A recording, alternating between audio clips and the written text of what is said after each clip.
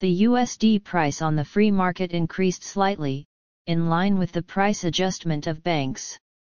On September 26, the state bank reduced the central exchange rate by 29 VND USD, down to 24,105 VND. This is the third consecutive day of reduction with a total decrease of 41 VND.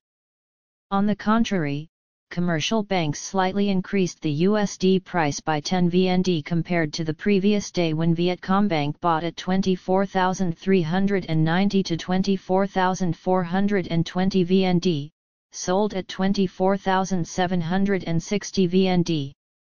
The USD buying price at ACB increased to 24,400 to 24,300 VND, sold at 24,700 VND, in the interbank market, the increase in VND interest rates has helped narrow the gap between USD and VND interest rates to about 0.1 to 0.5% year for all terms.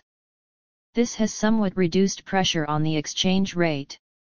USD interest rates are currently trading between 4.8 to 5.03% year depending on the term.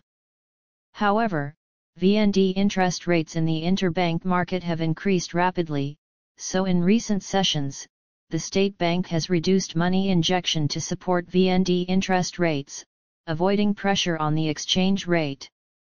In the free market, the greenback increased slightly by 10 VND USD, to 25,000 VND for buying and 25,100 VND for selling.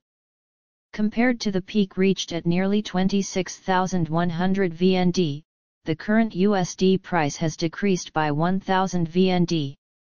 Exchange rate pressure in the free market has gradually decreased as the gap between domestic and foreign gold prices has narrowed to 2 to 4 million VND tael. The USD price on the international market increased, the USD index increased to 100.92 points, up 0.4 points. The USD bounced from the lowest level in 14 months against the EUR. The US announced that new home sales decreased less than expected, helping the USD recover.